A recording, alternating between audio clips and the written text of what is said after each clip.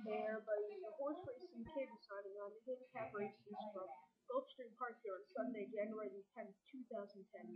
Featured race is race number 9. It's the 53rd running of the Fort Lauderdale Grade 3. First 100 $100,000 to go uh, is the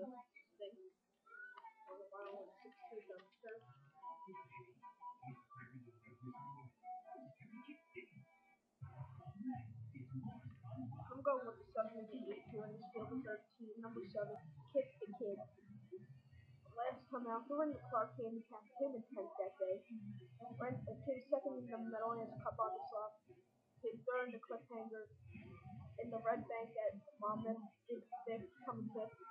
Won the Appalachian Stakes back on a, on a large Dirt Day. And came fourth in the Gulf Park Turnfest at a mile and eighth behind Kip DeVille.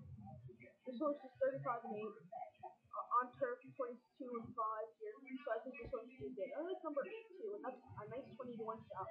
Sam P. last time out.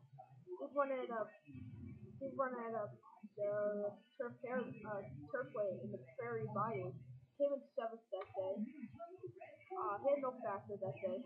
Then ran on the turf in the optional claimer. Came second at mile and eighth. Then uh, in the mile 16 got back on Bruce, but Friday came seventh. Then didn't run until 8th of November of 08. Came in 8th. Last uh, 22 and 3. Last one was a race back at uh, in 08.